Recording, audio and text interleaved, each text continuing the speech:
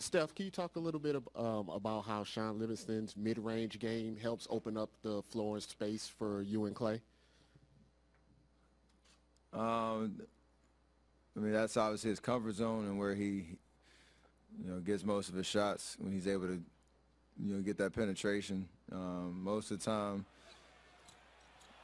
when he's in that position, um, if the defense doesn't collapse, then he's getting wide open looks and at a you know comfortable range. And if he, if they commit to him and we're spaced out on the wings, you know, he's done a good job as well. And we're both on the, all three on the floor at the same time, finding one of us if we're open.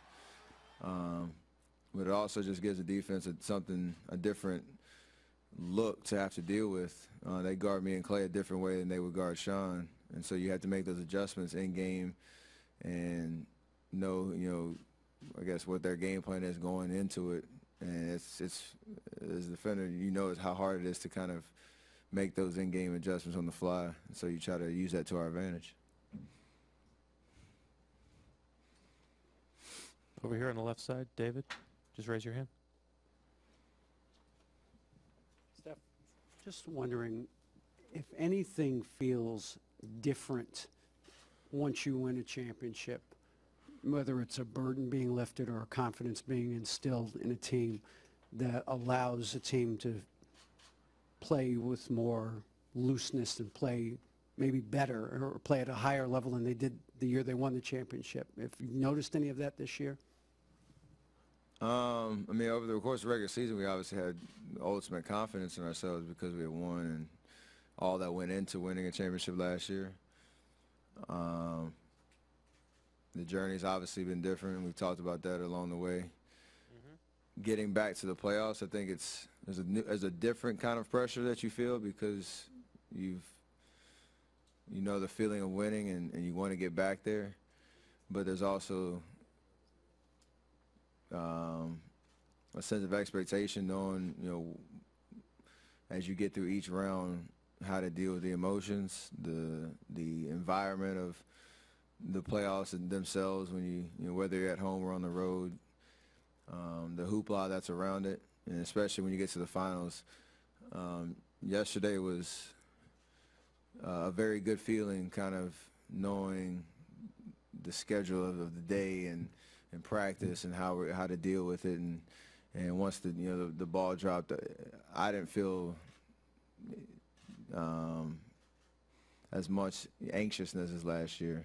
Um, it still it obviously means as much, if not more, this time around. But you just have a certain sense of, of comfort knowing that you've been through it before, and it, at the end of the day, it's just basketball, um, and and going out and having confidence in what you do. OKC, you think that falling back on that may have helped you guys get through those three games? For sure. Um, there wasn't any panic. It was just understanding the the, this, the the moment. I mean, we were down two one um, twice last year and, and had to rattle off three straight. Granted, it wasn't facing elimination, so it was a little different. But you, the more experiences you go through, I think you know the better you are you are at handling anything that's thrown at you. Um, we obviously had to you know play well and and figure it out quickly to get to the finals. But we we we relied on the experience for sure. Over on the right side, one.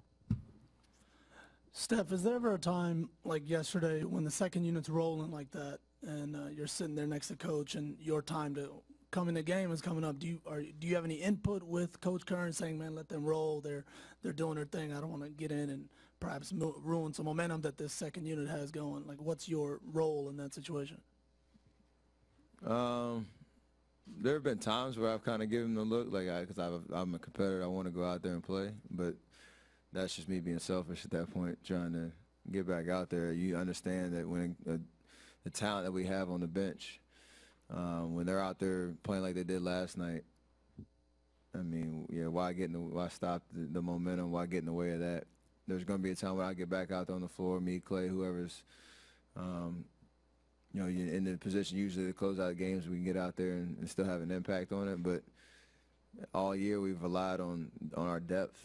Um, the minutes that you know we logged in the regular season is because of of you know how well our bench can can obviously you know protect leads but also build them um, like they did last night. So it, it's fun to to kind of see them bring the energy and do what they do.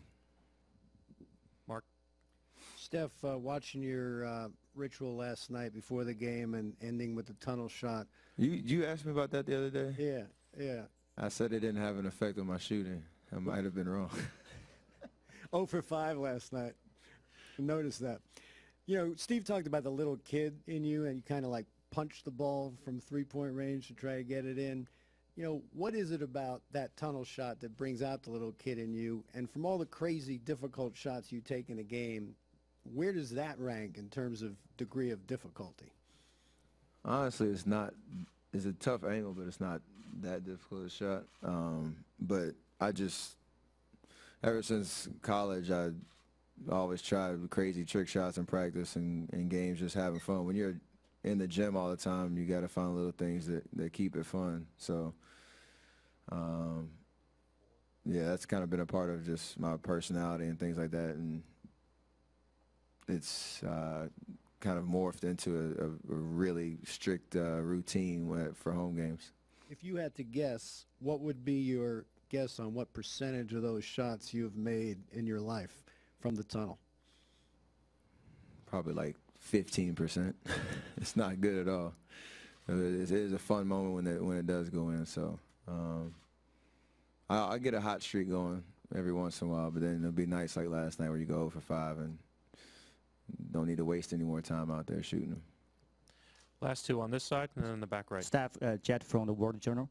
You know, uh, the Cavs just scored seven three point uh, last night compared to the played in Eastern games. It's not good. Do you know what's the reason? Just because of Warriors defense or they had a bad light? Uh, I mean, I think our defense has a lot to do with it. Just being aggressive, trying to follow the game plan. Um, they're obviously a team that shoots the three very well and can get hot at any time, but the key is trying not to let them get open looks and, and find a rhythm. So from the from the jump, you want to be able to try to impact, you know, their offensive of rhythm by not having any miscommunication, having great rotations on the on the perimeter, um, and contesting shots. We could do all that to, on Sunday, and they could make everything. It's just that's how basketball it is. Is obviously it's a, it's a, it's a make or miss league, but um, you know our defense of energy and kind of uh, focus was was was pretty good yesterday, and uh, if we can repeat that and take it even up another notch, um, that's when we're at our best. Last one, back right. Hi, Steph. Uh, I was wondering if you received the jersey that Lionel Messi had sent you, and if you uh, would like to meet him. Uh, now he's playing uh, the Copa America here, and if you'd like to invite him to see one of the of your games. Oh, for sure. It'd be an honor to have him come watch us play. Uh, I've never seen him play in, in person, but um, would enjoy that treat as well. And obviously, I never met him in person, but we we did exchange jerseys for the Instagram um, follower milestone. So um, mine's still in the mail. I'm waiting for it though. Thank you.